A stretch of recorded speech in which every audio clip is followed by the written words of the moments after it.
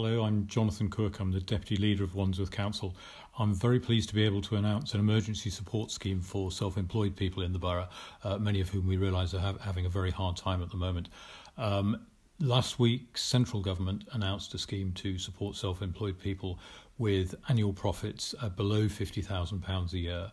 Uh, and to apply, uh, you needed to uh, have your 1819 uh, tax returns uh, submitted. The deadline for this has been extended already to the 23rd of April. So we at Wandsworth Council have partnered with local accountancy firms to launch a scheme to enable anyone who hasn't got that tax return in yet to do so, no cost to themselves, uh, accessing the support that we're providing, uh, partnering with local firms. So if you are in that position, I would urge you to visit our website as a matter of urgency, uh, and I hope that uh, that you will be able to take uh, take advantage of that and access support the support that's available.